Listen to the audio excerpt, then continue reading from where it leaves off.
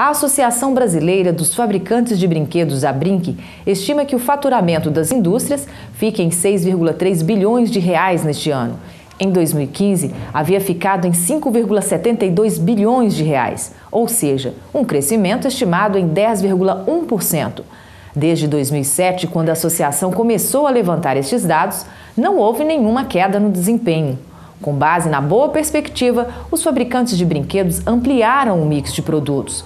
Foram lançados 1.400 brinquedos neste ano. 60% custam menos que 25 reais. Foram criadas opções pensando no público que está passando por dificuldade financeira.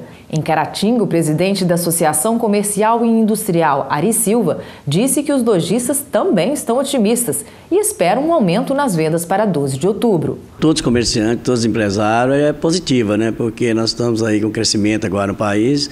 Eu acho que a política passou, nós mudamos aí, então acho que vai ser um crescimento muito grande e todos os empresários estão confiantes.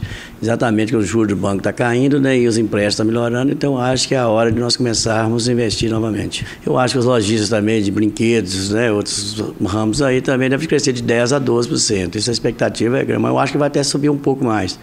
Porque né, todo mundo estava endividado, liquidou suas dívidas, e eu acho que agora é o momento deles começar a gastar e preencher os cartões novamente. Nos corredores desta loja de brinquedos no centro da cidade, prateleiras e mais prateleiras abarrotadas de brinquedos. Rodrigo, dono da loja, conta que para garantir o aumento nas vendas, ele fez várias estratégias investiu na divulgação de folders de mercadorias, comprou os últimos lançamentos do mercado e está fazendo várias promoções de descontos e vale-brindes. Nas compras antecipadas, por exemplo, o cliente recebe uma raspadinha para ganhar outro brinquedinho.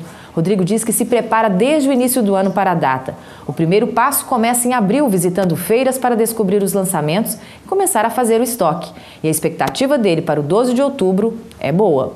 É aumento na venda de 12%, porque com a ida da, da gente na feira, nós pegamos vários itens novos, lançamentos, e a mãe, quando vem com a criança na loja, se surpreende e acaba até levando mais. Nós estamos entrando com um sorteio né, de uns ingressos de um evento que vai ter na cidade e a pessoa que antecipando a compra está ganhando uma raspadinha e leva um brinde na hora.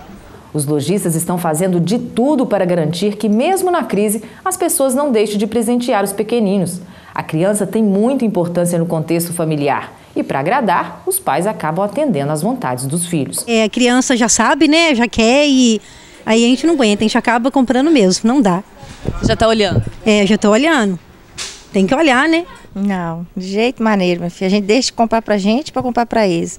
E mais ela que é filha única, né? Aí não tem como negar. No meio de tanta opção, Vitória tem dificuldades de escolher o que vai querer de presente no Dia das Crianças, mas já tem uma pista. Ainda não, tem muitas coisas legais aqui. E eu, talvez eu vou querer uma boneca.